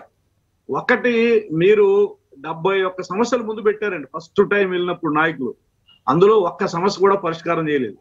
పిఆర్సీకి సంబంధించి వెళ్ళినటువంటి నాయకులు పదమూడు సంఘాల నాయకులు పెట్టినటువంటి ఒక్క అంశాన్ని కూడా పరిగణలో తీసుకోలేదు. అసలు ఎప్పుడు జరగలేదు. పైకి చూసే వాళ్ళకి ఏం కనిపిస్తుందంటే పదే పదే పిలుస్తున్నారు చర్చలకి కూర్చోబెడుతున్నారు మాట్లాడుతున్నారు ఏదో జరిగిపోతుంది లోపల అని అనుకుంటున్నారు. ప్రజలు ఏమీ జరగట్లేదు. మన వాళ్ళు చెప్పింది ఏది అమలు కావట్లేదు. అక్కడ మన మనకి నాయకత్వానికి ఇలువ లేకుండా చేసేసింది ఈ ప్రభుత్వం అనేది సామాన్య ఉపాధ్యాయుడికి సామాన్య ఉద్యోగికి పెన్షనర్స్కి బాగా అర్థమైపోయింది. అర్థమైపోయి ఈ ప్రభుత్వానికి కనువిప్పు కలిగించాలి మనం. మా గౌరవం మాకు ఇవ్వాలి అనేటువంటి దృష్టితోటే వాళ్ళు స్వచ్ఛందంగా ఎవరికి వాళ్ళు విజయవాడ చేరుకుని ఆ సభను సక్సెస్ చేస్తే ప్రజల్ని దూరం చేయాలి ఉద్యోగులని ప్రచారం చేస్తా ఉన్నారు. దాదాపు పన్నెండు పేజీల నోట్ తయారు చేసి మొత్తం కార్యకర్తలందరికీ పంపించి ప్రచార వాలంటీర్లకి పంపించి ప్రచారం చేయించారు. నేను ఒకటే చెప్తున్నాను మీ ద్వారా చెప్పదలుచుకున్నది. నేను ఒక ఉద్యోగిని. నా కుటుంబంలో నా బంధువులు స్నేహితులు దరిదాపు రెండు వందల మంది ఉంది అలాగే వీళ్ళెవరూ కూడా నన్ను ఏలుపెత్తి చూపించి విమర్శించే పరిస్థితి అయితే లేదు. అక్కడ దాకా ఎందుకండి? నిన్నటికి నిన్న విజయవాడ ప్రజలు ఎలా హక్కుని చేర్చుకున్నారు? నిన్న వచ్చినటువంటి లక్షల మందికి మంచినీళ్ళు ఇవ్వడం కానీ మజ్జిగ ఇవ్వడం కానీ అలాగే బంధువులు స్నేహితులు భోజనాలు పెట్టడం కానీ ఇవన్నీ చూస్తే అసలు ప్రజల నుంచి ఉపాధ్యాయుల్ని ఉద్యోగుల్ని ఏరు చేయడం అసాధ్యం. అలా ఏరు చేయాలనుకునేటువంటి ప్రభుత్వాలకి ఆ, శృంగభంగం కావడం తప్ప రెండోది ఏం జరగదు. పంతొమ్మిది వందల ఎనభై ఆరులో మీకు బాగా గుర్తుండి ఉంటుంది ఆ రోజు ముఖ్యమంత్రి ఎన్టీ రామారావు గారు చాలా నిరంకుశంగా సమ్మెకి వెళ్ళినటువంటి ఉద్యోగుల్ని ఉపాధ్యాయుల్ని ప్రజల నుంచి వేరు చేసే విధంగా చాలా పెద్ద ఎత్తున ప్రచారం చేస్తే ప్రజలేమి దాన్ని పరిగణలోకి తీసుకోకపోగా ప్రజల్ని సహకరించారు. సమ్మె అనంతరం ఆయన సమస్యలు పరిష్కారం చేశాడు రామారావు గారు. కానీ తర్వాత జరిగిన ఎన్నికల్లో ఏం జరిగిందో స్పష్టంగా మీరు చూశారు. అంత ప్రజాదరణ కలిగినటువంటి మహానాయకుడే తర్వాత ఎన్నికల్లో ఓడిపోయాడు. జయలలిత తమిళనాడులో లక్ష డెబ్బై ఆరు వేల మంది ఉద్యోగుల్ని అస్మా చట్టం ప్రయోగించి ఉద్యోగాలని తొలగించింది. ఆ తర్వాత వాళ్ళు ఫైట్ అవుట్ చేసి సుప్రీంకోర్టు వరకు వెళ్ళి తిరిగి ఉద్యోగాలు తెచ్చుకున్నారు. ఆ తర్వాత వెంటనే జరిగినటువంటి ఈ పార్లమెంట్ ఎన్నికల్లో ఒక్క సీటు కూడా జయలలిత పార్టీకి రాలా. తర్వాత ఎన్నికల్లో అసెంబ్లీలో ఆవిడ ఓడిపోయింది. కాబట్టి ప్రజలు ఉద్యోగులు చుట్టూ పెనేసుకునే ఉంటారు తప్ప ఉద్యోగులు కూడా ప్రజల చుట్టూ పెనేసుకుని ఉంటారు. అంతే తప్ప ఉద్యోగుల నుంచి ప్రజలను వేరు చేయడం సాధ్యం కాదు ప్రజల నుంచి ఉద్యోగులను వేరు చేయడం కూడా అస్సలు సాధ్యం కాదు. ఎందుకంటే ఉద్యోగులు ఉన్నదే ప్రజలకు సేవ చేయడానికి ప్రజలకు సర్వీసులు అందించడానికి ప్రభుత్వ పథకాలు ప్రజలకు అందించడానికి. ఆ విషయం ఉద్యోగులందరికీ ప్రజలందరికీ తెలుసు. మీరు ఇందాక నాగభూషణం గారు చెప్పారు ఒక మాట ఏమనంటే ఇందులో వాళ్ళ సోషల్ మీడియాలో చేసిన ప్రచారం చూస్తే ఉద్యోగులందరూ లంచగొండులని పనిచేయరని దొంగలని ఇలాగా ప్రచారం చేశారు. ఎక్కడైనా ఉంటే ఒక వన్ పర్సెంట్ ఉంటే ఉండొచ్చేమో తప్ప నైన్టీ నైన్ పర్సెంట్ సామాన్యులు వాళ్ళు సర్వీస్ అంకితమై పనిచేసేటటువంటి వాళ్ళు ప్రజలతో మమేకమై పనిచేసేటటువంటి వాళ్ళు. కాబట్టే వాళ్ళు చేసిన ట్రోలింగ్లన్నీ కూడా తిప్పికొట్టారు. ఇప్పుడు వాళ్ళే నాలుగు ఖర్చుకున్నటువంటి పరిస్థితి. ఒక చిన్న ఉదాహరణ చెప్తాను. ఒక సత్యనపల్లి నియోజకవర్గంలో ఒక జెడ్పీటీసీ గారు ఐదు నిమిషాలు లేటుగా టీచర్ వస్తే స్కూల్కి వెళ్ళి తాళం వేస్తే ఆవిడ రోడ్డు మీద నిలబడాల్సింది మహిళా టీచర్ ఆ మరుసటి రోజున ఆ మళ్ళీ వెళ్ళి ఆయన క్షమాపణలు చెప్పాల్సినటువంటి పరిస్థితి వచ్చింది. అంటే ఏంటి? ఆ పార్టీ పెద్దల వైపు నుంచో లేదంటే అందులో కాస్తంత ప్రజల కోణంలో ఆలోచించేటువంటి ఉద్యోగుల కోణంలో ఆలోచించేటువంటి పెద్దలు చెప్పడంతో ఆయన క్షమాపణ చెప్పాడు. ఆ తర్వాత నుంచి ఆ దాడి తగ్గింది. మరి ఉద్యోగులు ఉపాధ్యాయులు ఎన్నో ఇప్పుడు ఉపాధ్యాయులే తీసుకుంటే ఇవాళ దరిదాపు పదకొండున్నర వేల పాఠశాలలు ఎలిమెంటరీ స్కూళ్ళు సింగిల్ టీచర్తో పనిచేస్తున్నాయి ఐదు క్లాసులు ఒక పద్దెనిమిది సబ్జెక్టులు ఒక టీచర్ చెప్పాల్సిన పరిస్థితి పదకొండున్నర వేల స్కూళ్ళల్లో ఉంది.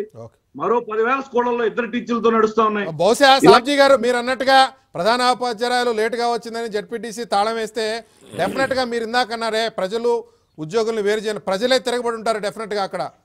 ఎందుకంటే ఎందుకంటే ఒకవేళ అట్లా తాళం వేయాల్సి వస్తే ఒక ఎమ్మెల్యే గారు మా ఊరు రాలేదు ఓట్ల కోసం వచ్చేంత వరకు అన్నప్పుడు మరి ఏం తాళం వేయాలి? ముఖ్యమంత్రి గారు ముఖ్యమంత్రి గారు ఇంతవరకు మా నియోజకవర్గానికి రాలేదన్నప్పుడు ఎవరికి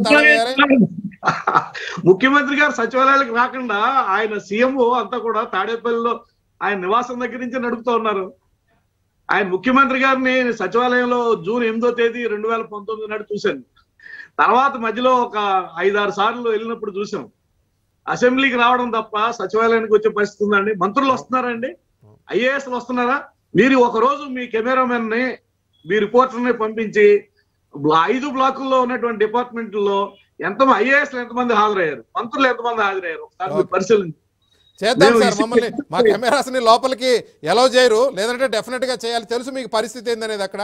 సాంజీ గారు. జీవరెడ్డి గారు తమ జీవరెడ్డి గారు. ఇందాక మీరు అంశం ప్రస్తావించారు యా అంటే ఈ ప్రభుత్వం లిటిగెంట్ ప్రభుత్వము అంటానికి ఒకటి సాబ్జీ గారు ఎవరినైనా ఎదవల్ని చేస్తారు వీళ్ళు వాళ్ళ దగ్గరికి వస్తే అంటానికి ఏంటంటే ఒక ఎగ్జాంపుల్ రెండు వేల ఇరవైలో వీళ్ళు స్టేట్ డెవలప్మెంట్ కార్పొరేషన్ ఒకటి ఫామ్ చేశారు. ఫామ్ చేసి దానికి ఎస్బీఐ కన్సార్టియం బ్యాంకులు ఫామ్ చేసి కొంత లోన్ ఇచ్చింది. లోన్ ఇచ్చిన తర్వాత అది అన్కాన్స్టిట్యూషనల్ అని తెలిసిన తర్వాత ఏది వీళ్ళు లిక్కర్ని తాకట్టు పెట్టడం అని తెలిసిన తర్వాత ఎస్బీఐ కానీ మిగతా బ్యాంకులు ఇరవై ఐదు వేల కోట్లకు కానీ ఇరవై వేల కోట్లు ఇచ్చి ఒక ఐదు వేల కోట్లు ఆఫ్ చేయడం జరిగింది. అందులో ఎస్బీఐ పోర్షన్ ఒక పద్దెనిమిది వందల కోట్లు మిగతా బ్యాంకులది ఉంది. ఉంటే నిన్న మోడీ గారికి ఒక లేఖ రాశారు. బడ్జెట్ అయిపోయిన తర్వాత సీఎం గారు. పద్నాలుగు పేజీలు లేఖ రాస్తూ సరే అదంతా చాలా ఉంది. అందులో పదకొండో పేజీలో ఏమని రాశారంటే మేము స్టేట్ డెవలప్మెంట్ కార్పొరేషన్ ఫామ్ చేశాము దాన్ని అందరూ అన్కాన్స్టిట్యూషన్ అని అన్నారు అన్న తర్వాత మేము లీగల్ ఒపీనియన్ తీసుకున్నారంట. అంటే ఫామ్ చేసే ముందు లీగల్ ఒపీనియన్ తీసుకోలేదు మేము లీగల్ ఒపీనియన్ తీసుకుంటే అది కరెక్ట్ అని చెప్పారు. కరెక్ట్ అని చెప్పిన తర్వాత కూడా ఎస్బీఐ మాకు డబ్బులు ఇవ్వట్లేదు అని చెప్పేసి ఎస్బీఐ మీద కంప్లైంట్. వాడు ఇచ్చిన పాపానికి ఇరవై వేల కోట్లు ఇచ్చిన పాపానికి మోడీ గారి దగ్గర కంప్లైంట్ ఏది ఎస్బీఐ మీద? ఇవ్వండి డబ్బులకు బ్యాలెన్స్. అంటే వీళ్ళతో పెట్టుకుంటే ఎవడైనా అంగా మసే నువ్వు చేసింది అన్కాన్స్టిట్యూషనల్ అది నువ్వు ఒపీనియన్ చేసుకొచ్చింది ఎవడో నీకు అనుకూలమైన వ్యక్తి దగ్గర ఒపీనియన్ చేసుకొచ్చేసి ఇది కాన్స్టిట్యూషన్ అని చెప్పడము అది మోడీ గారికి లేఖ రాయటము మన దాని మీద స్టేట్ బ్యాంక్ ఆఫ్ ఇండియాని ఎదవం చేయటము. అంటే సార్ మీ ఎంప్లాయీస్ని కాదు సాక్షాత్తు స్టేట్ బ్యాంక్ ఆఫ్ ఇండియాని వీళ్ళు ఎదవం చేశారు. పద్దెనిమిది వందల కోట్లు ఇవ్వడానికి సో వీళ్ళకు అమరావతి రైతులు ఎంప్లాయీస్ డాక్టర్ సుధాకరు ఎవరు అతిథులు కాదండి వాళ్ళే కాదు State Bank of India institution. Nagabhushanam గారు ఇంకో సంవత్సరం పోతే మీ మోడీ గారిని కూడా చేస్తారు. ఏది? మేము అన్నీ చేయాలనుకున్నాం మోడీ గారు మాకు సహకరించలేదు. ఒక రకంగా ఈ లెటర్ మీకు పంపిస్తాను చూడండి పద్నాలుగు పేజీలు రాశారు. మీ మీదనే నెపం ఉంది. కేంద్ర ప్రభుత్వం మీద మమ్మల్ని సరిగా ఆదుకోవట్లేదు అది ఇదని ఎవరైనా లెటర్ రాస్తే బడ్జెట్కు ముందు రాసరు. అన్ని రాష్ట్రాలు బడ్జెట్కి ఒక నెల ముందు రాసుకొని మాకు ఇది కావాలని అడిగారు. బడ్జెట్ అయిపోయిన మూడో రోజు రాతరా. అందుకు కాదు ఇలా రివర్స్ గవర్నమెంట్ అనేది. అది రాస్తూ వాళ్ళ మీద నిందలు వీళ్ళ మీద నిందలు. ఇంకొకటి ఉంది. లాస్ట్ పేజీలో చంద్రబాబు నాయుడు గారిని కూడా వదలలేదు. ఇక్కడ కూడా కంప్లైంటే. Five years of insensitive governance అంట. Last five years of insensitive governance వల్ల నేను ఇట్లా తయారైనంట. అంటే అప్పుడు సరిగా లేదంట. ఎకనామిక్లో డౌన్ ఉందంట. అరే ఐదు లక్షల నలభై వేల కోట్ల ఆరు లక్షల కోట్ల ఉన్న జీడిపిని వీళ్ళు దిగే టయానికి పది లక్షల కోట్ల జీడిపికి అప్పచెప్పారు. అరవై ఐదు వేలు ఉన్న రెవెన్యూ రిసీట్స్ని లక్ష పదహైదు వేల కోట్ల రెవెన్యూ రిసీట్స్ వచ్చేటట్టు ఆదాయం వచ్చేటట్టు తీసుకొచ్చి అప్పచెప్పారు చంద్రబాబు నాయుడు గారు. వీళ్ళకి ఏమైనా కడుపుకు అన్నం తింటారా? ఇంకేమైనా తింటారా వీళ్ళు? అరవై ఐదు వేల కోట్లు పదహారు వేల కోట్ల రెవెన్యూ డెఫిసిట్ తోటి అరవై ఐదు వేల కోట్ల రెవెన్యూ రిసీట్ రెండు వేల పద్నాలుగు పదహైదుకు మనకి రాష్ట్ర విభజన జరిగి అక్కడి నుంచి ఎక్కడ తీసుకెళ్ళారు ఆయన? లక్షా పదహైదు వేల కోట్ల రెవెన్యూ రిసీట్స్కి తీసుకెళ్ళారు. జీడిపిని ఆరు లక్షల కోట్లు ఉన్న ఐదు లక్షల నలభై ఐదు వేల కోట్లు ఉన్న జీడిపిని పది పది లక్షల కోట్లు దాటిచ్చాడు జీడిపిని నువ్వు కూర్చోడానికి అసెంబ్లీ నువ్వు కూర్చోడానికి సెక్రటరీ నువ్వు కూర్చో మీటింగ్లు పెట్టుకున్న లెజిస్లేటివ్ రెండు వందల హెచ్ఓడీలు ఇవన్నీ కూడా అక్కడ అరేంజ్ చేస్తే ఈరోజు చిన్నగా నువ్వు వచ్చి కూర్చొని ఈరోజు ఒక పే ఒక పే ఏమన్నా చేసావా ఒక అడుగు ఒక ఇటుక పెట్టావా? ఒక అడుగు బిల్డింగ్ కట్టావా? మొత్తం చంద్రబాబు నాయుడు గారు ఉన్నప్పుడే తయారు చేసిన రెండు వందల హెచ్ఓడీలు అక్కడే కూర్చుంటున్న ఎంప్లాయీస్ అందరూ. నువ్వు కూర్చుంటున్న సెక్రటరీ అసెంబ్లీ ఇవన్నీ కూడా ఎవరు తయారు చేసినాయి ఆ రోజు టెంపరీ నిఖిల్ చేష్టలు చేశారు కదా. ఈరోజు ఆ టెంపరీలోనే కూర్చుంటుంది కదా. అది టెంపరీ అయిందా? పడిపోయిందా? ఏడ కూర్చుంటున్నారు మీరందరూ ఈ పొద్దు? ఏడ కూర్చొని పరిపాలిస్తాను రేపొద్దు మీ బతుక్కి ఒక్క బిల్డింగ్ కట్టుకోలేకపోయారు గ్రామాలలో గ్రామ సచివాలయం చెప్పి సగం సగం సగం సగం కట్టి అన్నీ వదిలేశారు. ఆ కట్టిన వాటికి ఇంతవరకు పాపం డబ్బులు ఇవ్వలేదు. అందరూ వైసీపీ వాళ్ళే పాపం అందరూ. ఏదో మనకు వస్తుంది తిందామని లచ్చలు లచ్చలు తిందామని కడితే ఒకవేళ ముప్పై లక్షలు నలభై లక్షలు కట్టారు ఒక్కడికి డబ్బులు ఇవ్వలేదు. మరి ఇది మన బతుకు. కట్ట కట్ట గ్రామ సచివాలయాన్ని కడితే ఒకరికి డబ్బులు ఇవ్వలేదు. ఇంకా అది కట్టినట్ట డబ్బులు ఇవ్వనందుకు. ఏదనంటే చంద్రబాబు నాయుడు గారు అప్పులు పెట్టిపోయినారు అప్పులు పెట్టిపోయినారంటే మళ్ళా పిల్లల మాదిరి చిన్న పిల్లల మాదిరి ప్రధాని మోడీ గారికి లేఖ రాత్రా నీకు కావాల్సింది ఏంటి అడుగు? లాస్ట్ ఐదేళ్ళలో పోయిందంటే అందుకు మాకు చేత కావట్లేదంట. చిన్నపిల్లలు కూడా అదే స్టేట్ బ్యాంక్ వాళ్ళు నువ్వు చేసిందే తప్పు దొంగ మార్గాన్ని డబ్బులు తెచ్చుకుంటే ఫామ్ చేసి దాన్ని రెండు వేల ఇరవైలో పెట్టి రెండు వేల ఇరవై నవంబర్లో రాటిఫై చేశారు క్యాబినెట్ మీటింగ్ పెట్టి. ఇలా డబ్బులు తెచ్చుకోవచ్చా అని కూడా తెలియకుండా డబ్బులు తెస్తున్నటువంటి నేను. బట్ డబ్బులన్నీ ఏమైపోతున్నాయి అనేది పెద్ద ఎవరికి ఏమీ అదనంగా బహుశా వన్ ఆర్ టూ స్కీమ్స్ తప్ప మా అయితే కొత్తగా వచ్చినాయి అనుకుంటే వాటికి కూడా కట్ చేసిన స్కీములన్నీ చూసుకుంటే ఆ అమౌంట్తో పోల్చుకుంటే కొత్తగా వచ్చిన వన్ ఆర్ టూ స్కీమ్స్ వల్ల వచ్చే పెద్దగా అమౌంట్ నవరత్నాలు నవరత్నాలు. ఏమైపోయినాయి డబ్బులు నవరత్నాలు ఏంటిది? పెన్షన్స్ ఇంత ముందు లేవో పెన్షన్స్? అది నవరత్నం అని చెబుతారా? లేకపోతే జలయజ్ఞం జలయజ్ఞం నవరత్నం అవుతుందా? జలయజ్ఞం అంటే ఏంది? ఇరిగేషన్ ప్రాజెక్టులు కదా ఎవరు చేయలేదు అవి? తర్వాత రైతు ఒకవేళ ఈ మూడేళ్ళలో మొత్తం కంప్లీట్ చేస్తే మరి రత్నమో వజ్రం అయ్యేదేమో ఎట్లా అవుతుంది. పెట్టలేదు దానికి. అది కంటిన్యూషన్ కదా. ఆరోగ్యశ్రీ నవరత్నం అవుతుందా? నవ అది ఒక రత్నం అవుతుందా? ఆరోగ్యశ్రీ ఉన్నదే కదా. ఏంది ఇందులో లేంటి నువ్వు? ఐదు ఏం రావటము? ఇట్లా పెట్టడము? అదేం దాని ఏమంటారు? మేనిఫెస్టో ఇది బైబిలు భగవద్గీత ఖురాన్ మనకు తొంభై శాతము హామీలు నెరవేర్చడం చెప్పడమా. రెగ్యులర్గా ఇచ్చే స్కీమ్స్ నువ్వు పేరు మార్చి దాన్ని ఒక స్ట్రక్చరింగ్ చేసి నవరత్నాలు అని చెప్పేసి దాన్నేమో నెరవేర్చడం తొంభై శాతం అంటే. తొంభై శాతం మీద వంద శాతం నెరవేరుతాయి. ఎంప్లాయీస్కి జీతాలు ఇచ్చాము నెల నెల పెన్షన్లు ఇచ్చాము రేషన్ ఇచ్చినాము ఇరిగేషన్ ప్రాజెక్టులు కడుతున్నాము Aarogyasri fee reimbursement. Fee reimbursement నవరత్నమా? పిల్లలకి చదువుకునే పిల్లలకి డబ్బులు ఎప్పటి నుంచి ఉంది అసలు అది పార్ట్ ఆఫ్ పాలసీలో గవర్నమెంట్ పిల్లలకి పాలు గుడ్లు ఇవ్వటము ఇవన్నీ కూడా పథకాలు హామీ ఎప్పటి నెరవేర్చామంటాం. నుంచో జరుగుతూ ఉన్నాయి. హామీ నెరవేర్చామంటాం. అదే ఇదిగో హామీలు అంటే ఉదాహరణకు ఒకటి చూపిస్తాను. ఈయన చెప్పింది. అధికారంలోకి వచ్చిన తర్వాత జనవరి ఒకటి వచ్చేసరికి ప్రభుత్వ ఉద్యోగాల క్యాలెండర్ ప్రతి సంవత్సరం చేస్తారని చెప్పి కూడా హామీ ఇస్తా ఉన్నా. ఇది హామీ.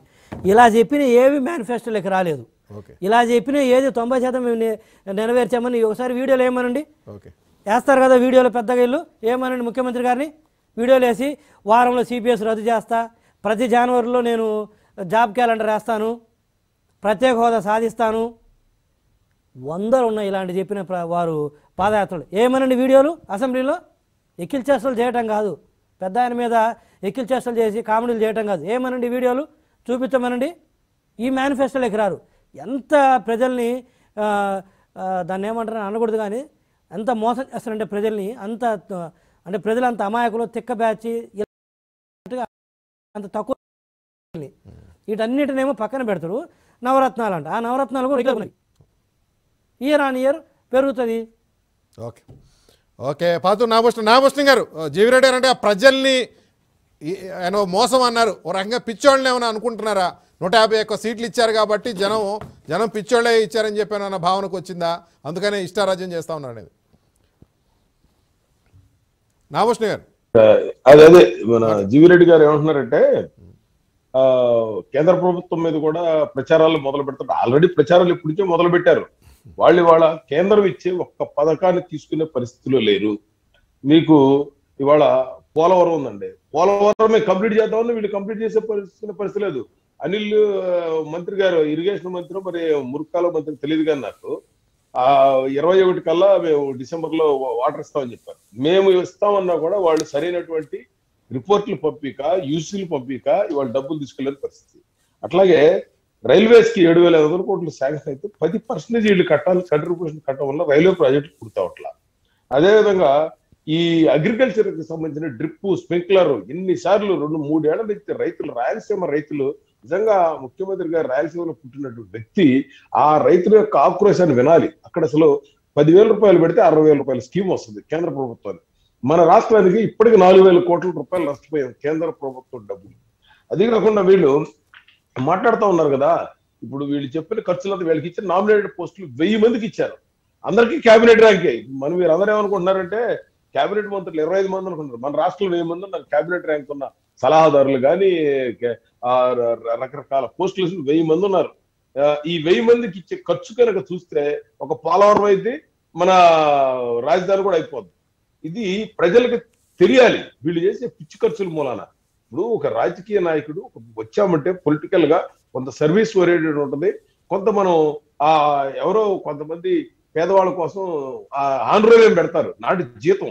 ఆంధ్రయం ఇప్పుడు ఇప్పుడు అదే పాపం సాబ్జీ గారు వాళ్ళు జీతాల కోసం ఫైట్ చేస్తుంటే దానికి ఎక్కడ రాష్ట్ర ఆర్థిక పరిస్థితుల గురించి మరి మేనిఫెస్టో రిలీజ్ చేయాలి మరి? ఏది లెక్కలు చూపిస్తా? మరి అదే సిఎస్ గారు. సిఎస్ గారు ఎక్స్టెన్షన్ తీసుకున్నాడు ఆయన. అందుకని ఆయన లాయల్టీగా పనిచేయాలి కాబట్టి ఆయన ఆ లాయల్టీలో పనిచేస్తా ఉన్నారు. నేను అడుగుతుంది ఈ ప్రభుత్వాన్ని ఒకటేనండి. మీరు ఆర్థిక పరిస్థితి తొంభై ఆరు వేల కోట్ల నుంచి అరవై రెండు వేల కోట్లు వచ్చింది అనుకున్నప్పుడు మీరు ఎందుకు జీతాలు తగ్గించుకోలేదు? మీరు నామినేటెడ్ పోస్టులు ఎందుకు ఇస్తున్నారు? ఇవ్వండి ఒక పోస్ట్ ఇవ్వండి జీతం లేకుండా ఇవ్వండి తప్పే ఉంది. మీరు సంవత్సరానికి రెండు వేల ఐదు వందల కోట్ల రూపాయలు మీరు ఖర్చు పెడతా ఎంప్లాయీస్ దగ్గరికి వచ్చేదానికేమో డబ్బులు ఏమంటారా ఇరిగేషన్ ప్రాజెక్టుకి వస్తేనేమో అన్ని దొంగ లెక్కలు చూపించి ఒక్క ఆ ప్రాజెక్టు తీసుకురావడం మరి ఆ డబ్బులు ఎక్కడికి వెళ్తుందో తెలియదు మళ్ళా. అదేవిధంగా ఆ, కేంద్ర ప్రభుత్వం ఇచ్చే డబ్బులన్నింటినీ కూడా ఒక్కదానికి యూసీ పంపారు. అన్ని డైవర్షన్ ప్రతి స్కీమ్ కూడా కేంద్ర ప్రభుత్వం వీళ్ళు వాళ్ళ ఆ డబ్బులు అక్కడ ఇక్కడ వీళ్ళు వీళ్ళు స్టిక్కర్లు వేసుకోవడం వీళ్ళు పూర్తిగా ఇచ్చేస్తున్నారు ఇప్పటికీ కూడా ఈ ప్రభుత్వం ఏం చేస్తుందంటే ఏ పనులు చేయనండి రోడ్డు అడగండి లేకపోతే బడి అనండి. ఎప్పుడో రెండు వేల నాలుగులో రాజశేఖర రెడ్డి గారి గవర్నమెంట్లో అక్కడ తప్పు జరిగింది. అందుకని మేము చేయలేకపోయాం. రెండు వేల పదకొండులో రోషి గారు ముఖ్యమంత్రి అయ్యాడు. దానివల్ల మేము చేయలేకపోయాం. ఆ తర్వాత కిరణ్ కుమార్ రెడ్డి గారు ఇచ్చారు ఎవరొక ప్రభుత్వాల మీద గత ఇరవై సంవత్సరాల నుంచి ముందు లిస్టు తీసి వాళ్ళ మీద బురదేయటం ఇక చివరికి అల్టిమేట్ మిగిలింది ఏంటి? ఇప్పుడు ఎలా ఉంటదంటే ఆ కేంద్ర ప్రభుత్వం మీద. కేంద్ర ప్రభుత్వం వీళ్ళు ఆ- ఒక పేపరు పెన్ను ఏమీ సరిగ్గైనటువంటి ప్రజెంటేషన్ ఏమీ లేకుండా ఊరనే వేగ్గా పార్లమెంట్ ముందు రావడం ఒక బైక్ పట్టుకుంటూ మాట్లాడుతాం. సో అందుకని ఈ రోజున ఇందాక నవరత్నాలని చెప్తున్నారు జీవి రెడ్డి గారు. ఎలా ఉంటుందంటే పాపం మన ఆడపిల్లకి పెళ్ళి కాక ముందు ఒక ఇంటి పేరు ఉంటుంది. పెళ్ళి అయిన తర్వాత ఇంటి పేరు మారిపోయి భర్త పేరు వెళ్తుంది అట్లాగే ఆ పాపం ఎవరి తల్లిదండ్రులు ఆడపిల్లకి మంచి సంబంధం చేద్దాం అంత ముందు పేరు తీసి కొత్త పేరు వచ్చిన తర్వాత నరకం చూపిస్తున్నారు ఇక్కడ.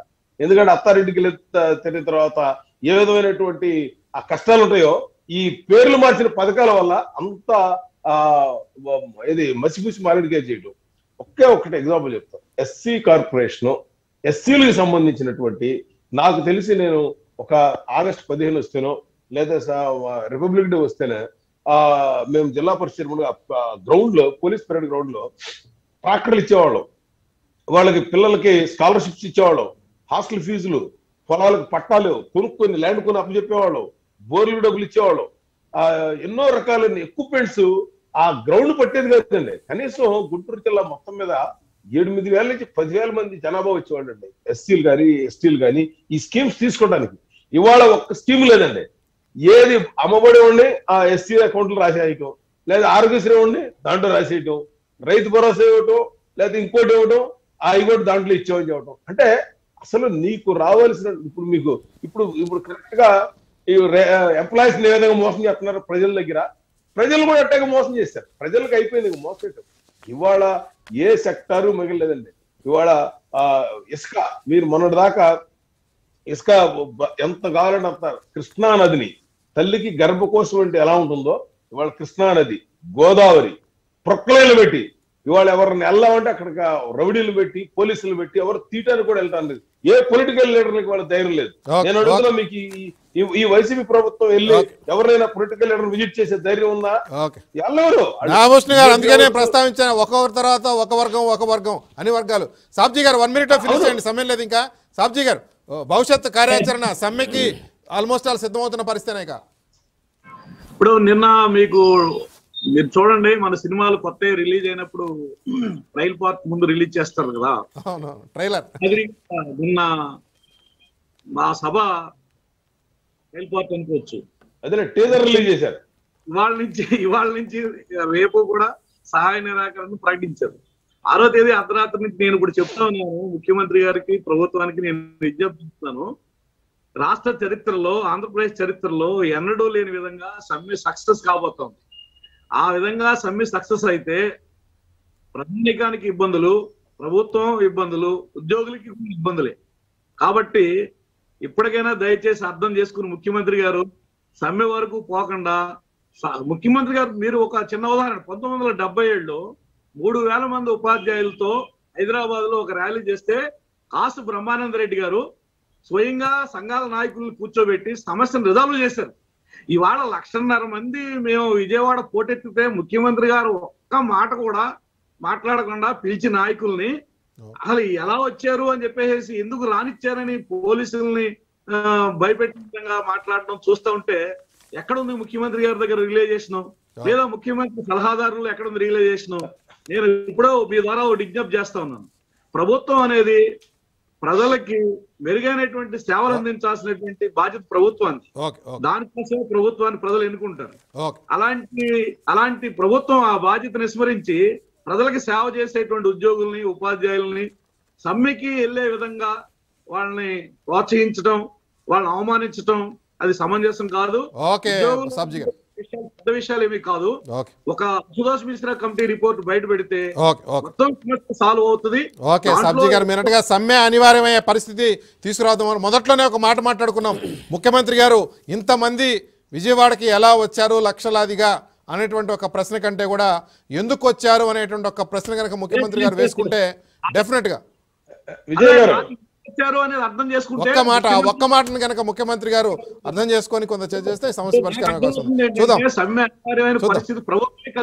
నాకు ఓకే ఓకే.